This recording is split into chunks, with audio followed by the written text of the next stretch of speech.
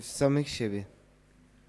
Y, W codzienności najbardziej lubimy się śmiać z siebie na, nawzajem. Myślę, że tak można w skrócie o tym powiedzieć, że nie wiem, Pat się wywalił gdzieś, z niego się śmieją, Kuba się na, wy, na występie przejęzyczył albo czegoś zapomniał i próbował sobie to usilnie przypomnieć, nie wychodziło mu, kamera to uchwyciła, my, my to zauważyliśmy, śmiejemy się z tego, no. Z życia, codzienność, dystans do siebie, myślę, tak można to określić. A jak wygląda Wasza współpraca na co dzień? Kto pisze teksty, kto muzykę i jak dużo czasu potrzebujecie, żeby przygotować jeden sketch? Y, To znaczy, y, jeśli chodzi o to, kto pisze tutaj skecze, to znakomitym mózgiem naszego kabaretu jest niestety dzisiaj nieobecny ksiądz Marek Wójcicki, który y, kiedyś współpracował z y, kabaretem absurdalnym złożonym z grupy ludzi umysłowo niepełnosprawnych.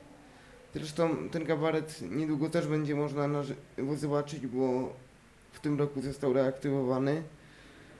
A jeśli chodzi o muzykę, to yy, udało nam się w tym roku już, yy, yy, przepraszam, minęło, minęło od tego dwa lata. Wydaliśmy płytę z kabaretem. A jeśli chodzi o, o, o aranżację, to cała reszta muzyków naszego kabaretu tym się zajmowała. I w tym też mój tata, który tam pomagał nam nagrać tę płytę. Dobrze. I chciałam właśnie też zapytać o ten e, absurdalny kabaret. Jego reaktywacja jest planowana i możemy się spodziewać niedługo. To znaczy, yy, nie chodzi o to, że jego reaktywacja jest planowana, on już jest. Aha. On już jest i yy, w tym roku mieli jakby swój Ponownie. odświeżony debiut w Teatrze Kores.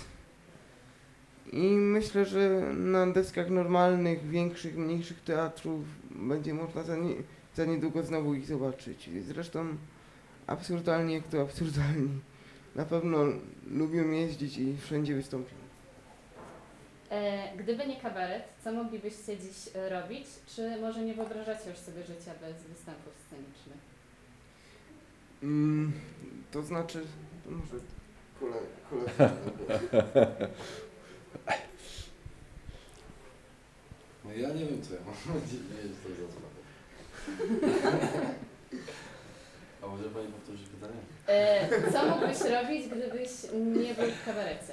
Um, Musisz powtórzyć. Y, Michał powiedział, żebyś był y, reprezentantem Polski w piłce nożnej. Chyba o paraolimpiadzie. E, No ja bym pewnie e, grał dalej w, em, w piłę, bo oprócz e, kabaretu to, to robię praktycznie na co dzień. E, Ale ja na przykład już teraz po czterech latach gry z kabaretem nie, nie wyobrażam sobie nie występować. A ty, Asia, masz jakieś plany? Y, Ja mam pewne muzyczne plany na przyszłość, ale jeszcze do końca nie wiem jakie. Bardzo się cieszę, że mogę z kabaretem występować.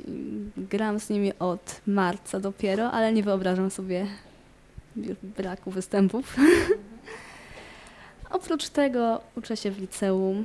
Myślę, że gdyby nie kabaret, to tylko bym się uczyła, grała na fortepianie i śpiewała, ale na szczęście miałam okazję dołączyć do tego grona. I na koniec mam pytanie o Wasze plany na najbliższe dni. Czy wiecie, co chcecie zobaczyć na festiwalu, czy będą to raczej spontaniczne decyzje? Jedziemy nad morze. O, dobrze, dobrze. Macie tak. To znaczy, Nad morze. tak, na dworze. Dobrze, dziękuję